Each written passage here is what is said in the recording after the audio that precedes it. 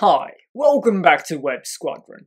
A question was posed to me about images. I better drop the voice. So, images. Um, what's the best size of images to load into Elementor when you're trying to combat the fact that we have so many different size screens, you know, small to big to huge, and especially when you're assessing your website on a desktop or a mobile, how do you get around the fact that you are going to have sometimes a blurry image or an image that just doesn't look good? This is one of those relatively simple ones where, you know, don't go for a massively huge image. Don't load up something that is like 20 megabytes in size that's uncompressed. Bad move.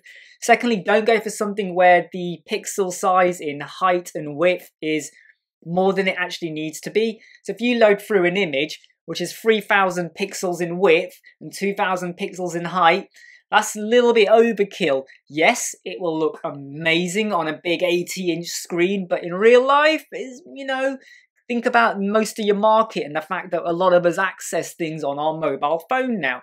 So look, when you're doing an image, whether it's in Canva or Photoshop or wherever, I tend to stick to doing 9, 1920 by 180 um, for a desktop sized image, desktop wallpaper, whatever you want to call it when I then come on to like looking at images that are say for um, uh, for a tablet or a mobile, I then start to think a little bit differently and I would rather have my images that are 500 by 300 in height or 378 in width and about 250 in height. It's all subjective. Okay, where am I going for this? Right, just stay with me. So when you add in an image and it looks okay for your desktop, okay, you might have loaded in 1920 1080 but then when you've actually maybe used that image just in a column or maybe it's an image on the website it's not a full background section that 1920 and 1080 might be more than you actually needed.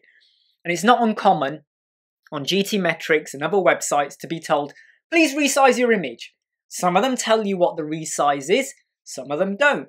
And you get a little bit stuck with going well what do I do here so I might create multiple versions of the same image. Okay, so let me explain. I'll go to Canva, I'll create it in 1920 by 1080, okay, and then I will um, upload it maybe four or five times, maybe to my website. What I do, will do though is I will have compressed it, okay, and once I've compressed it, before I convert it into a WebP, so I will use the Images to WebP plugin, which is totally free. And I'm just going to go back here just to show you it. So if I go to plugins, install plugins, here is there, images to WebP, totally free, okay? Up to you if you want to use it.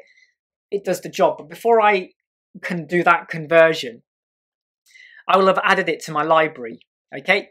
So let's just pretend here was my original image, okay? 19, this is 1920 by 561, by the way, but let's pretend it was 1920 by 1080. I upload it a few times, whatever. Okay, then I will have um, once I've realized whether that's going to be a section image or a column image or a smaller image, I will then go and resize it. So I might hit edit image and I might have scaled it down. So I might say, okay, this is now going to be used on a mobile, but I want it now to not be more than say, um, let's let's just go for 500 in width by 146. And I hit scale and it will scale that image down. And when it rescales an image, it will change the size of it. That's currently 163 kilobytes. Um, sorry, I need to backstep. I add an image in, I then convert that image to a JPEG to shave off even more size. So this image originally was about 2.2 megabytes in size. When I uploaded it, it was about 750 kilobytes. I then used this plugin over here, which again is free, which was PNG to JPEG. And it converts the PNG to a JPEG, which then shrinks it down massively, took it down to 160 odd. Then I convert it to a WebP, but I do that right at the end. Okay, so I then had another image over here as well. So, God, I'm going off in the wrong order. The original image looked like this.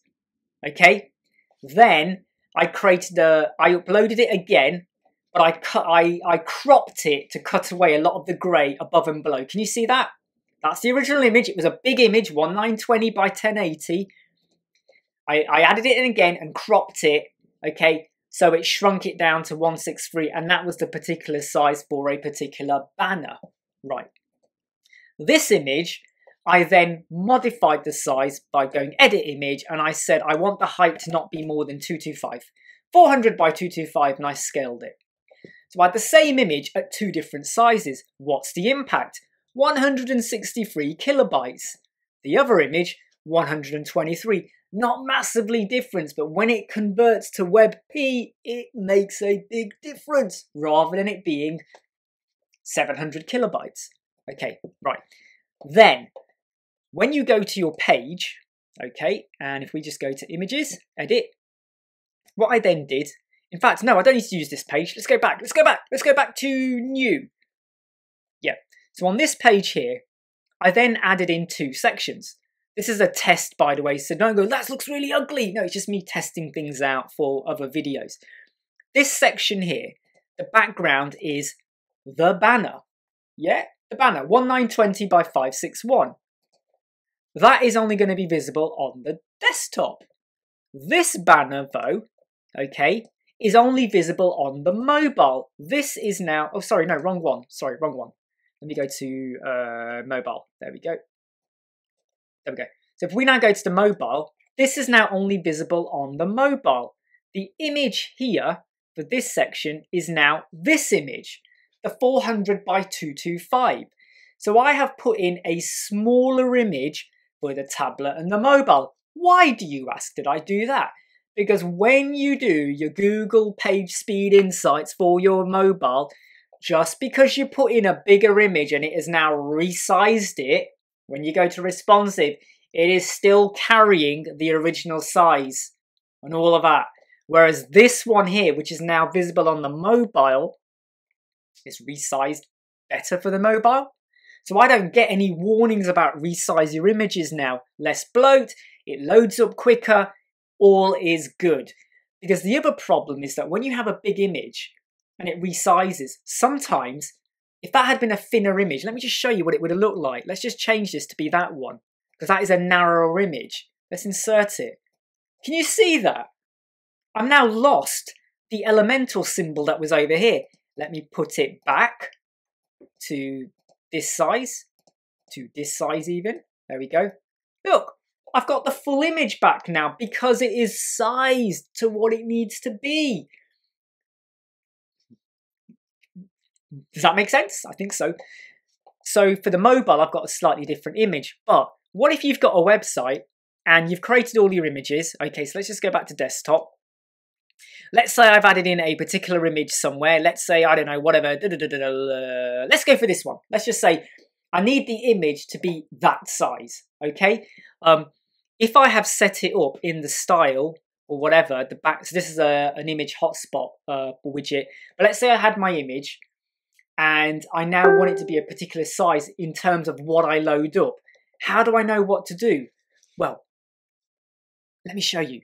There is a free website called rapidtables.com, web tools pixel ruler. I'll add it into the description of the video. Okay, what you do is, um, if I was now viewing this page here, right, you take a screenshot. So let me just move myself out the way there just a little bit you take a, sorry, my computer's making a ping noise. I'm really sorry about that. Right, so what I will do is I will make a screenshot of this. So I'm using a Mac, so I'm just going to take a full size, capture the entire screen, capture. And I'm just going to copy that to my clipboard.